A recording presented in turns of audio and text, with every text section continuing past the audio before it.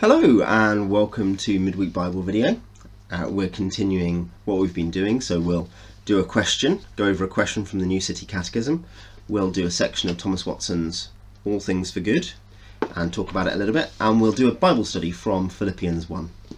Let me pray. Lord God, I pray you bless what I offer today, that it be spiritual fertilizer for the oaks of righteousness of your people who, who listen and I pray that uh, they find many other good resources to take them through this sealing time, that this be a time that seals them in their faith rather than shakes them. Amen. So we're on question 47 of the New City Catechism, uh, was what we did last week. Try to remember it if you can. I'll leave a pause after the question. Does the Lord's Supper add anything to Christ's atoning work? No, Christ died once for all. The Lord's Supper is a covenant meal celebrating Christ's atoning work. It is also a means of strengthening our faith as we look to Him and a foretaste of the future feast. But those who take part with unrepentant hearts eat and drink judgment on themselves. And the verse is For Christ also suffered once for sin, the righteous for the unrighteous, that He might bring us to God. Now, why, why this question? It's addressing a belief that different groups of Christians have held at different times that there are things which add to Christ's atoning work other than Christ dying on the cross. That there are things the Christian does to to gain that atoning work or add to it, um, or just have more of it. So rather than simply accessing the crucifixion, uh, the atonement by faith, you also do something else. Uh, for someone who's really into like high-end holiness movement, for instance, you access saving grace by being holy. Here, this is aiming obviously at the Roman Catholic belief that when you partake of the Mass, you gain saving grace. Saving grace is infused into you. Uh, this is medieval metaphysics, so I won't go into that, though it is interesting. But the key difference here is that rather than you go to the Mass and you are given saving grace, you know, your salvation is added to and strengthened by uh, the participation in the Mass. The Lord's Supper does not do that. The Lord's Supper is instead a covenant meal. It strengthens our faith. It's a foretaste of the future feast. Um, it's something which brings us to remember and to enjoy, um, including the spiritual miracle of, of being with each other and with Christ, that Christ died once for all. It does not bring us saving grace. We have it because we have saving grace and I think what's important there to, to, to drill into us to when we go to the supper is a wonderful reminder not that we need to work for our salvation, but that we have salvation through faith, and the works that flow out from that are a seal upon it. The things we participate in, like baptism and the Lord's Supper, are peculiar special graces of the salvation. They don't add to it. For Watson, I'll read chapter 1, verses 3 to 4, or sections 3 to 4. Chapter 1 is the best things work for good to the godly, and this is all based on the verse God works all things for good. 3. The mercies of God work for good to the godly. The mercies of God humble us. Then went King David and sat before the Lord and said, Who am I, O Lord God, and what is my father's house that thou hast brought me hitherto? That's 2 Samuel 7:18. Lord, why is such honour conferred upon me that I should be king? That I who followed the sheep should go in and out before thy people. So says a gracious heart, Lord, what am I that it should be better with me than with others? That I should drink of the fruit of the vine, while others drink not only a cup of wormwood, but a cup of blood, or suffering to death. What am I that I should have those mercies which others want, who are better than I? Lord, why is it that notwithstanding all my unworthiness, a fresh tide of mercy comes in every day? The mercies of God make a sinner proud, but a saint humble. The mercies of God have a melting influence upon the soul. They dissolve it in love to God. God's judgments make us fear him. His mercies make us love him. How was Saul wrought upon by kindness? David had him at the advantage and might have cut off not only the skirt of his robe, but his head. Yet he spares his life. This kindness melted Saul's heart. Is this thy voice, my son David? And Saul lifted up his voice and wept. 1 Samuel 24:16. Such a melting influence has God's mercy. It makes the eyes drop with tears of love. The mercies of God make the heart fruitful. When you lay out more cost upon a field, it bears a better crop. A gracious soul honours the Lord with his substance. He does not do with his mercies, as Israel with their jewels and earrings make a golden calf. But as Solomon did with the money thrown into the treasury, build a temple for the Lord. The golden showers of mercy cause fertility. The mercies of God make his heart thankful. What shall I render unto the Lord for all his benefits toward me? I will make the cup of salvation. I will take the cup of salvation. Psalm 116, 12 and 13. David alludes to the people of Israel who at their peace offerings used to take a cup in their hands and give thanks to God for deliverances. Every mercy is an alms of free grace, and this enlarges the soul in gratitude. A good Christian is not a grave to bury God's mercies, but a temple to sing his praises. If every bird in its kind, as Ambrose says, chirps forth thankfulness to its Maker, much more will an ingenuous Christian, whose life is enriched and perfumed with mercy. The mercies of God quicken. As they are lodestones to love, so they are whetstones to obedience. I will walk before the Lord in the land of the living. Psalm 116.9. He that takes a review of his blessing looks upon himself as a person engaged for God. He argues from the sweetness of mercy to the swiftness of duty. He spends and is spent for Christ. He dedicates himself to God. Among the Romans, when one had been redeemed by another, he was afterward to serve him. So a soul encompassed with mercy is zealously active in God's service. The mercies of God work compassion to others. A Christian is a temporal saviour. He feeds the hungry, clothes the naked, and visits the widow and orphan in their distress. Among them he sows the golden seeds of his charity. A good man sheweth favour and lendeth. Psalm 112.5 Charity drops from him freely as myrrh from the tree. Thus to the godly the mercies of heaven of God work for good. They are wings to lift them up to heaven. And spiritual mercies also work for good. The word preached works for good. It is a savour of life. It is a soul transforming word. It assimilates the heart into Christ's likeness. It produces assurance. Our gospel came to you not in word only, but in power, and in the Holy Ghost, and in much assurance. 1 Thessalonians 1 5. It is the chariot of salvation. Prayer works for good. Prayer is the bellows of the affections. It blows up holy desires and ardour of the soul. Prayer has power with God.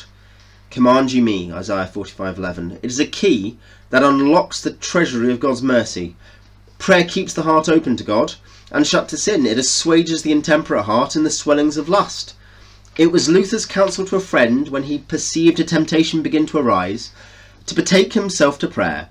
Prayer is the Christian's gun which he discharges against his enemies. Prayer is the sovereign medicine of the soul. Prayer sanctifies every mercy. 1 Timothy 4 5. It is the dispeller of sorrow. By venting the grief it eases the heart. When Hannah had prayed, she went away and was no more sad. 1 Samuel 1.18 And if it has these rare effects, then it works for good. The Lord's Supper works for good. It is an emblem of the marriage supper of the Lamb. Revelation 19.9 And an earnest of that communion we shall have with Christ in glory. It is a feast of fat things. It gives us bread from heaven such as preserves life and prevents death. It has glorious effects in the hearts of the godly. It quickens their affections, strengthens their graces, mortifies their corruptions, revives their hopes, and increases their joy. Luther says it is as great a work to comfort a dejected soul as to raise the dead to life. Yet this may and sometimes is done to the souls of the godly in the Blessed Supper. 4. The graces of the Spirit work for good. Grace is to the soul as light is to the eye, as health to the body. Grace does to the soul as a virtuous wife to her husband. She will, she will do him good all the days of his her life. Proverbs 31:12. How incomparably useful are the graces. Faith and fear go hand in hand. Faith keeps the heart cheerful, fear keeps the heart serious. Faith keeps the heart from sinking in despair, while fear keeps it from floating in presumption. All the graces display themselves in their beauty. Hope is the helmet, 1 Thessalonians 5.8. Meekness the ornament, 1 Peter 3.4. Love the bond of perfection, Colossians 3.14.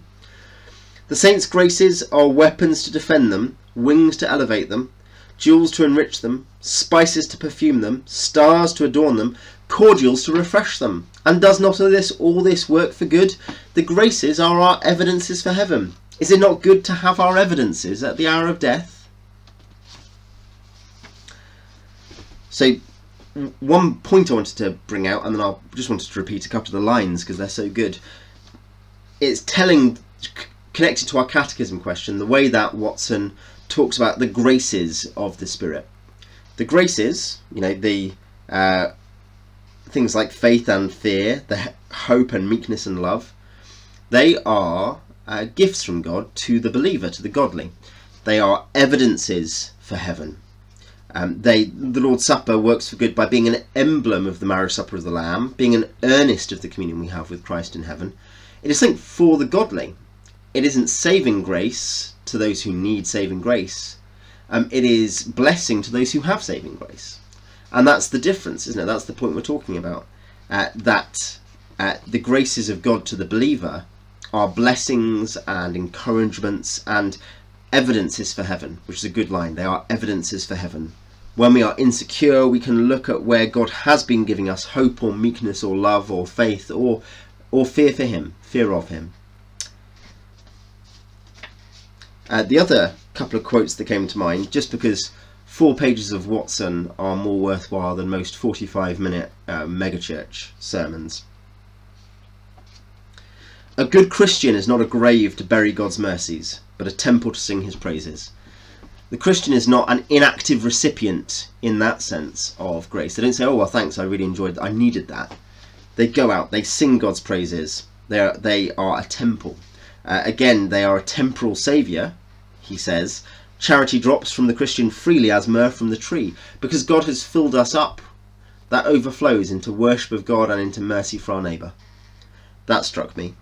The other is the mercies of God quicken as mercies are lodestones to love, they guide our love. They are whetstones to obedience. They sharpen our obedience. They are the mercies of God are lodestones to love and whetstones to obedience. If you thought anything was particularly noteworthy, tell me. I'd like to hear. Now, we're going to read the Bible. We're in Philippians chapter 1, continuing our series. You can watch the first two videos on the channel if you didn't already. We'll start at the start of verse 18. We did 18a last week, but we'll start there. What then? Only that in every way, whether in pretense or in truth, Christ is proclaimed, and in that I rejoice. Yes, and I will rejoice, for I know that through your prayers and the help of the Spirit of Jesus Christ, this imprisonment will turn out for my deliverance. As it is my eager expectation and hope that I will not be at all ashamed, but that with full courage now, as always, Christ will be honoured in my body, whether by life or by death. For to me to live is Christ and to die is gain. If I am to live in the flesh, that means fruitful labour for me. Yet which I shall choose I cannot tell. I am hard pressed between the two. My desire is to depart, to be with Christ, for that is far better. But to remain in the flesh is more necessary on your account. Convinced of this, I know that I will remain and continue with you all for your progress and joy in the faith, so that in me you may have ample cause to glory in Christ Jesus because of my coming to you again. Only let your manner of life be worthy of the gospel of Christ, so that whether I come to see you or am absent, I may hear of you that you are standing firm in one spirit, with one mind, striving side by side for the gospel of Christ, for the faith of the gospel of Christ and not frightened in anything by your opponents. This is a clear sign to them of their destruction, but of your salvation, and that from God. For it has been granted to you that for the sake of Christ you should not only believe in him, but also suffer for his sake, engaged in the same conflict that you saw I had, and now hear that I still have. So, so far in this introduction to Paul's letter, We've seen Paul has hinted at some of the topics he intends to cover in his letter. He's discussed the effects of his imprisonment. You know, Paul is in prison in Rome because of his preaching of the gospel. And he wants to get some advice to the Philippians in case they can't see him again. So the next section, 18b to 30, builds on this. It addresses the Christian response to suffering using Paul's situation and it turns that to, toward the Philippians uh, he uses his situation to cast light on theirs. He both deals with their present situation and future possibilities. So this week we're going to try to draw out from this section three things. One, Paul's general doctrine of Christian suffering. Two, what situation the Philippians are presently in, and three, what situations they might face or get into. Now, the first subsection, verse 18b to 26, is justly famous. It's one of the purple passages of Scripture, isn't it? Very famous. It sums up in many ways the Christian attitude to life in this world, in the flesh, uh, and how Christians deal with suffering. And this is what Paul thought about when he was faced with likely death.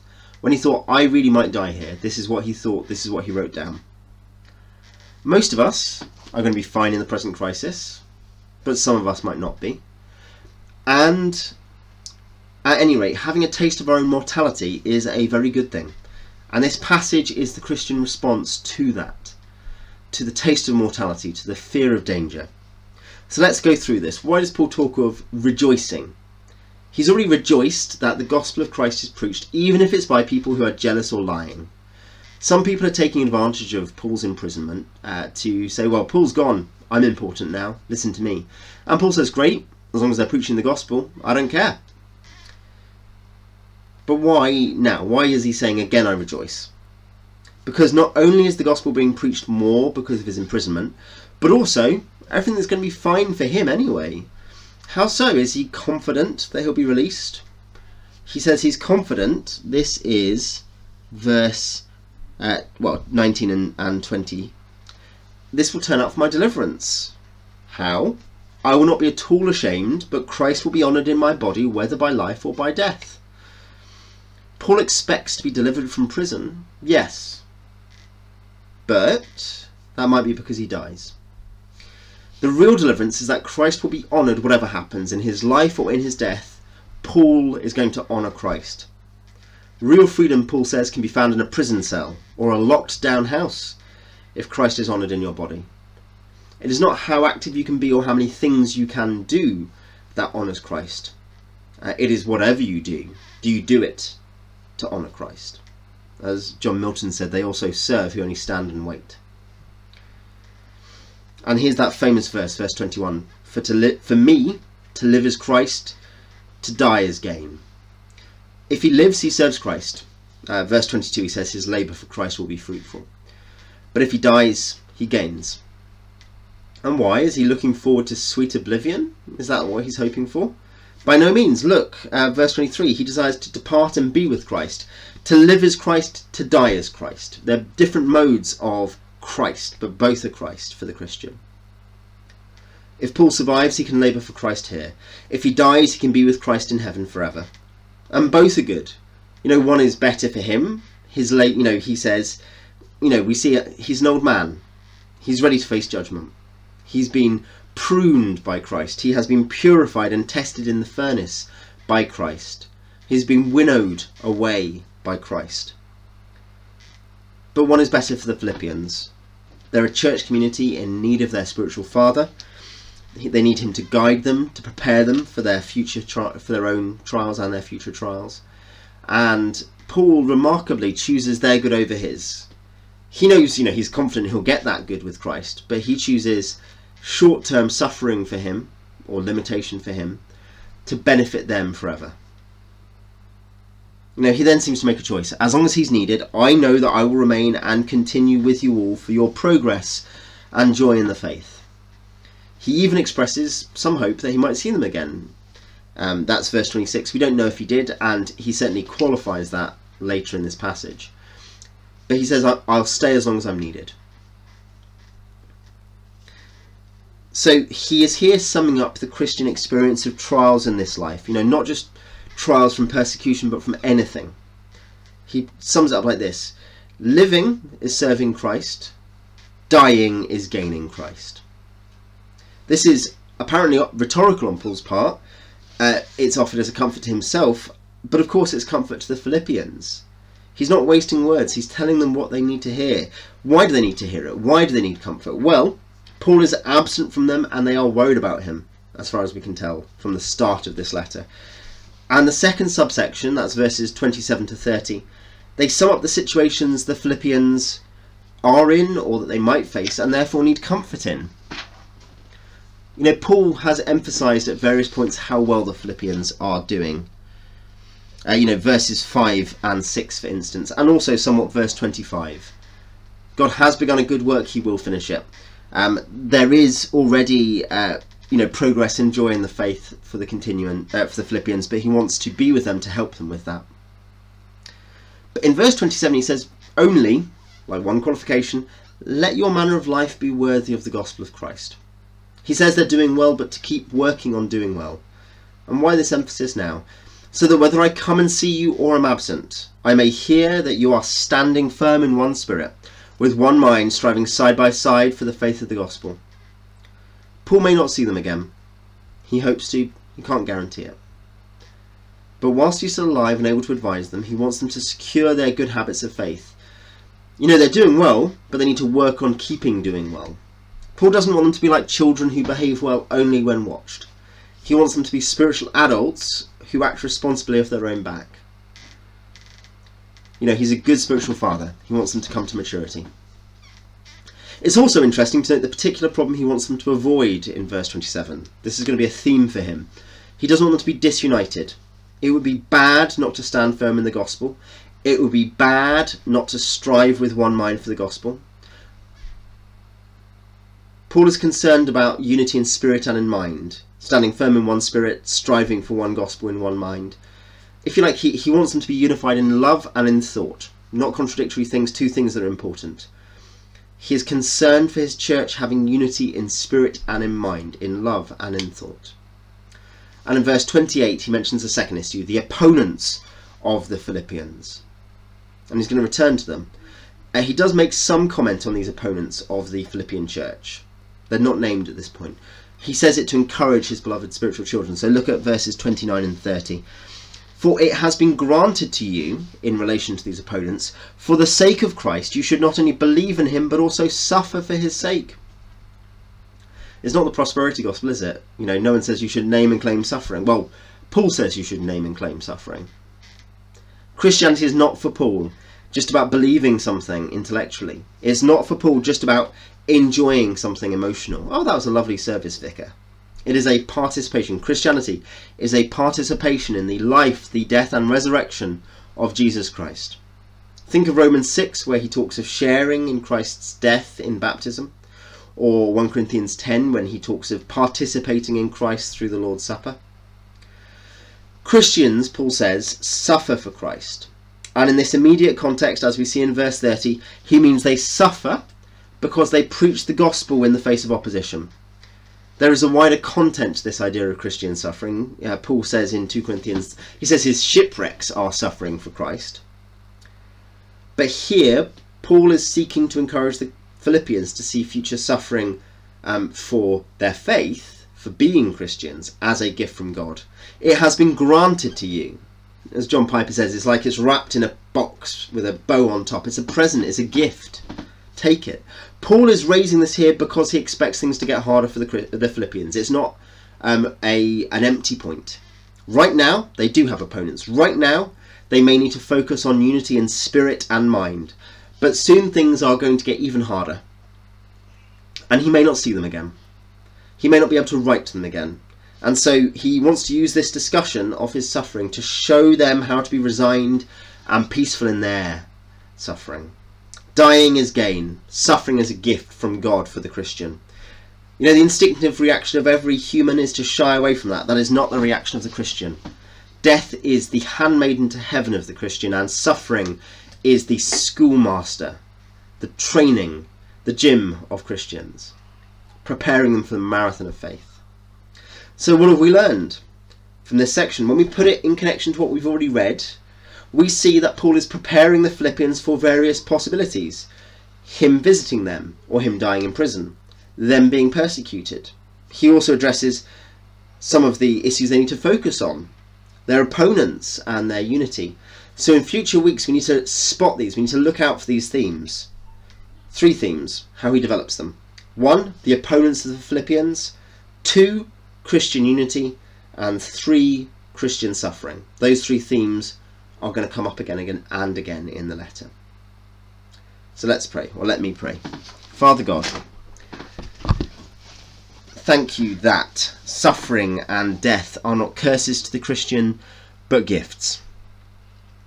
I pray uh, that you endow us with the grace to see that, that you endow us with perseverance in this trial where we may feel we are suffering, stuck in our homes or, or in a difficult situation, maybe for some of us even away from our families. I pray that you give us uh, forbearance, that you, you make us see in this you are making us more like you, that we resemble you more and more in our isolation, or, or in our patience for noisy children or for each other, and in, in seeing others have to forbear our sin. Lord, I, sh- I pray you, you show us more and more of you. And I pray, Lord, uh, that you give us a sense of your mercies in this, that we are not graves, graves for your mercies, uh, but temples of praise and temporal saviours for our neighbour. That myrrh drips off us uh, as from the tree, the myrrh of mercy. I pray all that, Lord, in the name of your precious Son, Jesus Christ. Amen. Well, I'll see you next week.